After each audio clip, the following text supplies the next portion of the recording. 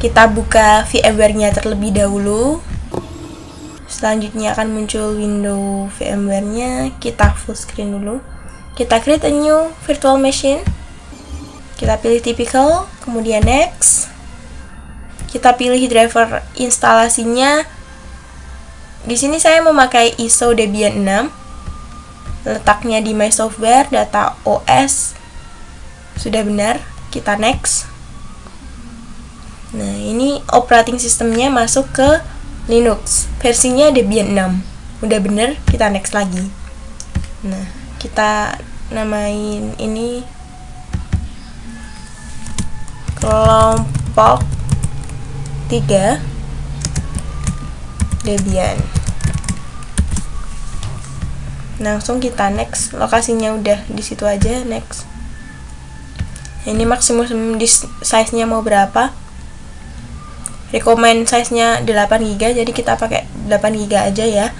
Terus kita pilih split virtual disk into multiple files. Kemudian kita next. Nah spesifikasinya seperti ini. Kita power on nya kita cek. Nanti langsung bisa dibuka langsung kita klik finish. Biar nanti kita full screen kita pilih ini ya enter full screen mode. Nah udah masuk kita klik dulu. Nah di sini kita nggak usah pakai mouse ya jadi pointernya nggak penting kita pakainya keyboard karena di sini basisnya teks. Nah kita kan mau install Debian yang berbasis teks. Jadi kita pilih install. Kita enter saja. Nah Selanjutnya ada pemilihan bahasa yang akan kita gunakan untuk instalasi. Karena saya lebih prefer ke bahasa Inggris, maka memilih bahasa Inggris. Tergantung teman-teman mau memilih bahasa apa. Kemudian memilih negara kita karena saya ada di Indonesia dan di sini tidak ada, kita pilih other kemudian kita pilih Asia yaitu kontinen regionnya ya. Indonesia kan berada di Asia kita pilih Asia selanjutnya kita pilih Indonesia. Enter. Untuk country to base default local settings nya kita pilih United States. Enter. Karena keyboard layout saya ini pakainya American English jadi ini pengaturan keyboard layout.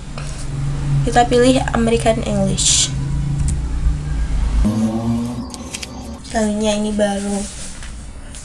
Adding additional components dari driver ISO Debian yang kita gunakan untuk instalasi. Kita tunggu prosesnya.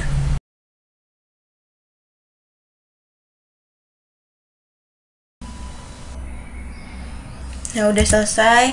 Terus yang barusan itu ada konfigurasi DHCP dari server karena saat ini kita tidak terhubung dengan server mana pun.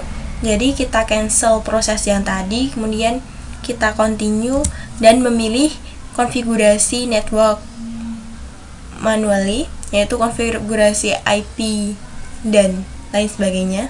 Jadi kita pilih configure network manually manually selanjutnya kita masukkan IP address di sini saya contohkan memakai IP address kelas C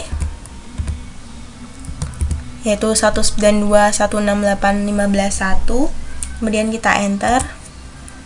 Masukkan netmasknya saya contohkan pakai netmask default kelas C dulu ya. 255 255 2550 kemudian kita enter lagi.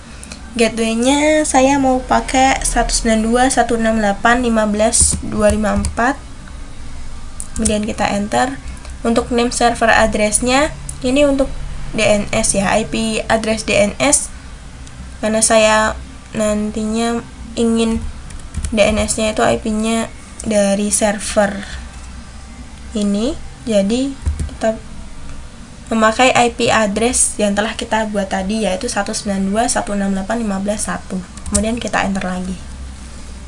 Untuk hostname-nya saya mau pakai kelompok 3 karena ini tugas jaringan komputer dari kelompok 3 maka saya memilihnya kelompok 3 untuk domain name-nya saya mau pakai uny.sc.id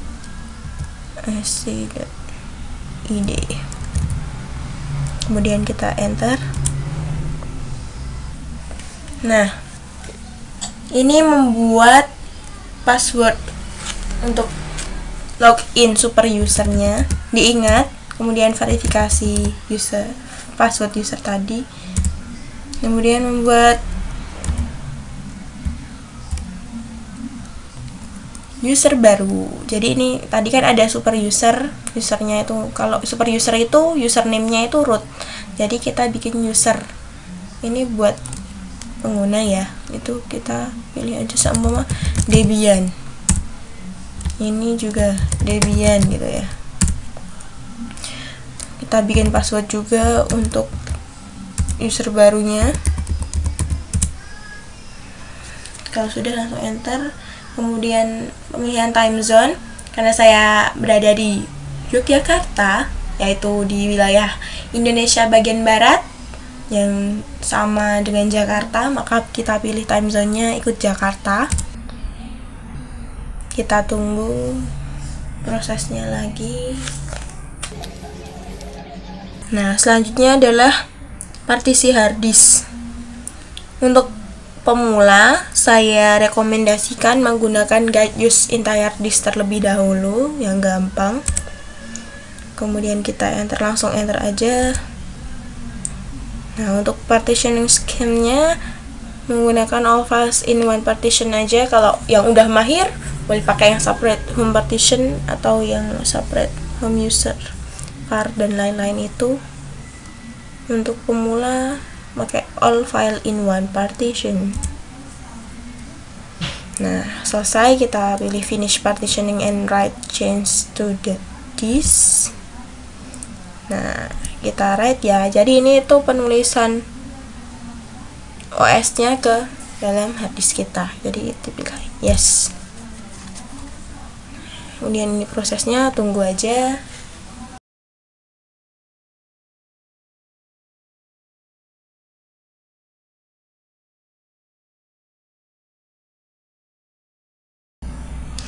Video ini dibuat untuk melengkapi tugas jaringan komputer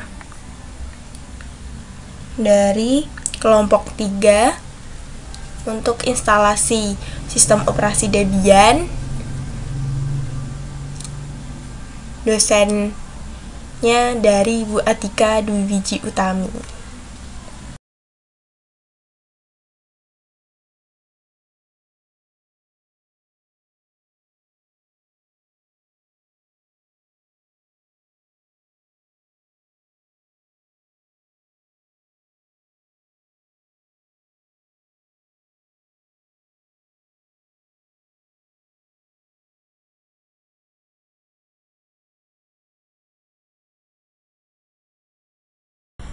Nah, udah selesai.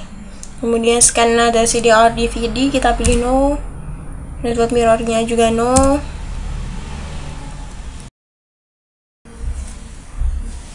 Selanjutnya instalasi software dari paket 1 ini kita pilih no juga Nah, untuk softwarenya karena kita mau basis teks ya, jadi performanya yang diutamakan adalah performa dari PC bukan grafiknya. Jadi kalau mau install graphical desktop environmentnya nanti kalau udah selesai instalasi aja biar instalasinya nggak lama kita hilangkan tanda bintangnya dengan menggunakan space kemudian kita enter saja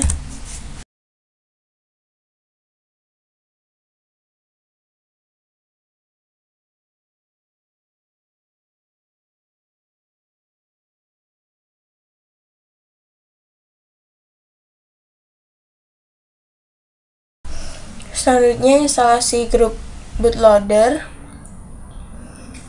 Kita pilih yes.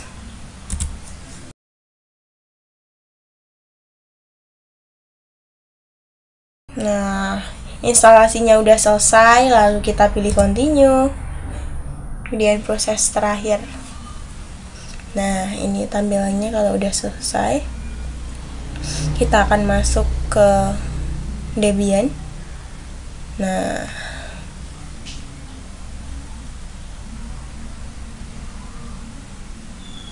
ini bootingnya dari Debian ya. Masih loading.